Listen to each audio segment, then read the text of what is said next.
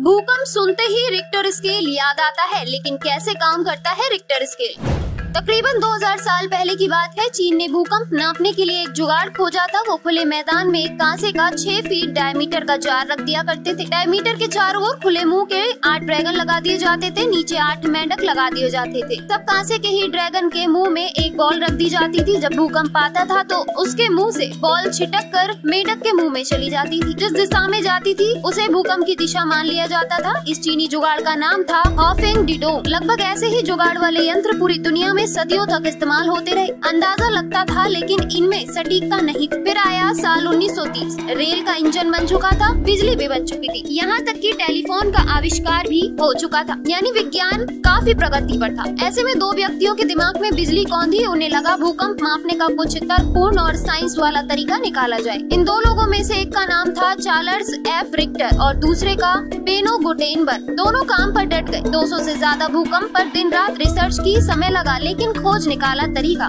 भूकंप मापने का। 1935 तक इन्होंने एक स्केल इजाद कर दिया, जिससे पता चला भूकंप की तीव्रता कितनी है। इस स्केल का नाम रखा गया रिक्टर स्केल या रिक्टर पैमाना। कैसे काम करता है रिक्टर स्केल भूकंप में दो चीज़ें देखी जाती है मैग्नीट्यूड और इंटेंसिटी मतलब कितना आया और कितनी ज़ोर से। ये मापा जाता है रिक्टर स्केल से। जब ज़मीन हिलती है तो एनर्जी निकलती है, ये तरंग के रूप में निकलती है। तो इसके लिए एक यंत्र बैठाया जाता है सीजमोग्राफ ये यंत्र भूकंप की तरंगों की ताकत और कितने समय तक ये तरंगे एक्टिव रही, इस बात का पता लगाता है। अब जो सीजमोग्राफ दुनिया भर में कई जगह लगे हुए बहरहाल सीजमोग्राफ को ऐसे एरिया में लगाया जाता है, जिससे 100 से 200 किलोमीटर दूर भूकंप आते हैं। भूकंप की तरंग आके सीजमोग्राफ से टकराती है, ये इसको मापता है। ये धरती में होने वाली हलचल का एक डिजिटल ग्राफ बनाता है, जिसे सिस्मोग्राफ कहते हैं। इसके आधार पर ही गणितीय पैमाने, यानी रिक्टर पैमाने पर भूकंप की तरंगों की तीव्रता, भूकंप का केंद्र और इससे निकलने वाली ऊर्जा का पता लगाया जाता है। भूकंप की तरंगों को रिक्टर स्केल एक से नौ तक के आधार पर मापता है। रिक्टर स्केल पर प्रत्येक अगली इकाई पिछली इकाई की तुलना में दस गुना अधिक तीव्रता रखती है। ऐसे समझिए कि रिक्टर स्केल पर छह तीव्रता वाला भूकंप पाँच से केवल एक ज़्यादा नहीं होगा, बल्कि दस गुना ज़्यादा होगा। उसी तरह सात तीव्रता का छह का दस गुना और पाँच का सौ गुना और चार का हज़ार गुना तीव्र होगा।